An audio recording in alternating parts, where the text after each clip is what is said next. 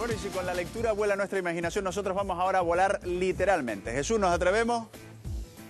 Nos atrevemos a volar. Bueno, yo no puedo volar esta tarde, pero fíjense ustedes con lo que sí que lo vamos a hacer con el ala delta. Siempre fue el sueño del hombre, volar desde la mitología griega, casi desde el principio de la humanidad, cuando Ícaro intenta hacerse unas alas de cera y consigue salir con su padre de la isla que lo prisionaba. Mucho más tarde fue Leonardo da Vinci quien empezó a imaginar aparatos tipo lo que están viendo, ala deltas, que son los que se inspiraron posteriormente llegando a crear pues esto que es hoy un deporte. Vengan ustedes para acá, vente para acá, Lucas, y no se muevan de ahí porque van a ver una cosa maravillosa. Fíjense, estamos con Pancho y con Carmen, ellos pertenecen a la escuela de Lanzarote, al club de vuelo libre de la isla de Lanzarote, y aquí te veo, Pancho, controlando todo este armazón. Sí, claro, y, no, y mirando el cielo a ver qué tal está.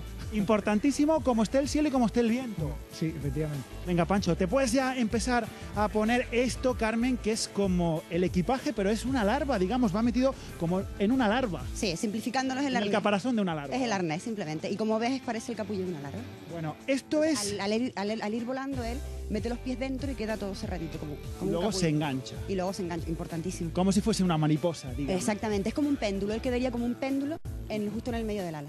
Bueno, ¿y qué es lo que tiene que hacer la gente? ¿Qué es lo que hay que saber para empezar a volar? Supongo que habrá cursos para que todos los que nos estén viendo puedan intentar lo que es volar con una ala delta. Sí, ante todo tener ganas de hacerlo, por supuesto, tener ganas de volar y probar esta experiencia tan maravillosa. Y luego pues hay cursos muy asequibles y a la mano de todos y ya te digo, con ganas y un poquito de dinero, que tampoco es demasiado, pues cualquiera, cualquiera casi puede intentar. Bueno, es un armazón simple de aluminio con estas telas que son nylon.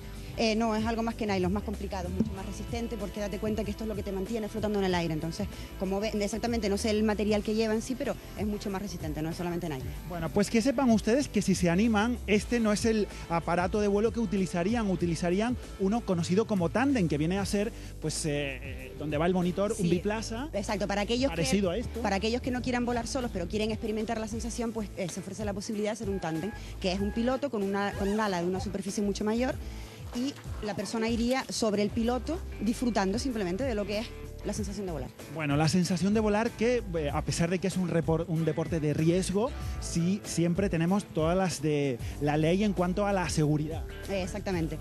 Eh, no se, bueno, no se puede apreciar mucho, pero el arnés lleva incorporado un paracaídas y realmente son muy pocos para protegerse en caso de seguridad, pero vamos, que muy, muy- es muy rara la vez que, el- que se pueda necesitar el paracaídas. Pues vengan ustedes para acá, fíjense dónde estamos, en la caldera del Cuchillo, en Tinajo, a unos 300 metros de altitud, desde donde podemos divisar la Santa, donde podemos divisar al fondo el archipiélago Chinijo, el pueblo de So, pues desde esta ladera, donde corre ahora mismo tanto tiempo, es donde Pancho se está preparando para lanzarse al aire, para avanzarse al, a lanzarse al Qué vacío envidia que nos y da, ¿eh? A volar. Bueno, nos da una envidia, Mayer. Yo no he podido porque hay que practicar. Es, ya decía Carmen, es un deporte de mucho riesgo y que necesita de mucha concentración. Esto no es montarse y ala, a tirarse. Nada, además por lo que te decía, porque estamos a 300 metros más o menos. Jesús, y no hace demasiado viento. El nivel del mar. Ahora hace demasiado viento, Carmen, no hace demasiado viento. Es importante ese factor a tener en cuenta. No, no hay, no hay demasiado viento, está bien, digamos que va a poder salir bien. Va a poder salir Sí, bien. la- lo importante es la intensidad del viento, que como vemos ahora es un poco fuertilla, pero está bien para salir.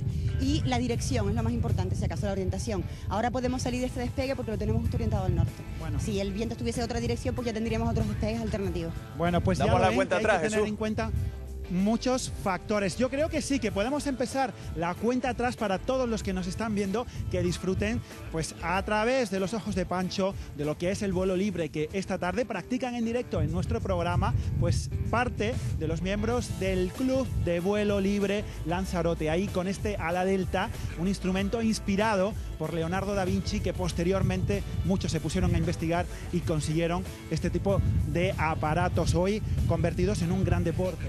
Exactamente, un poquito de cuidado al salir porque justo él tiene que controlar que los planos estén bien y para que no nos dé a nosotros.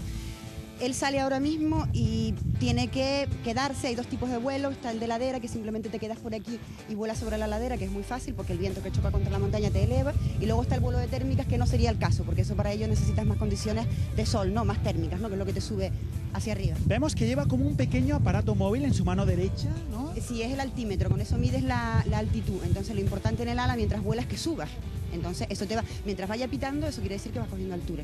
Eh, eh, Carmen, yo creo que le está, le- le está el viento complicando un poco la salida. No, no, realmente es así. Lo que ocurre es que tener en que esperar el ala- momento. Exacto, ten en cuenta que el ala pesa un poco, bastante, bastante. ¿Cuánto pesa más o menos? Y pues este puede estar alrededor de 40, 45 kilos O aproximadamente. sea que hay que O estar hay fuerte que estar para llevarlo, fuertito, para. Sí, sí, pero una vez que ya le coges el, el tema de El coger el ala, el, el peso al repartirse pues tampoco es tan, es tan complicado. Ahora él tiene que esperar la racha idónea, que él controle que los planos de ala están perfectamente vamos, Ahí ahí va. vamos. Mayer. Mira, Míjense. muy fácil la salida. estupendo, Muy fácil. sí. Bueno, es fantástico. Además de tener el viento que lo tenemos ahora mismo en Mira. contra, Mayer. Sí, por tener justo el viento a favor, es por eso por lo que realmente está cogiendo, ha cogido bastante altura. A favor, ¿y no sería más Estupenda fácil la imagen que nos llega desde no, no, en contra no puedes verdad que tener sería un placer es como estar los ahí. pájaros, una gaviota, o sea, un pájaro jamás te va a despegar con el viento en contra, siempre el viento a favor. Pues ya lo han visto ustedes. Es la visión, como decía Meryl Streep y eh, Robert Redford cuando volaban. Ella describía que la sensación de volar es ver el mundo a través de los ojos de Dios, como esta tarde lo hace Pancho para Canarias Directo. Regresamos en unos minutos contigo, Jesús, para que nos cuentes el tiempo. Hasta ahora.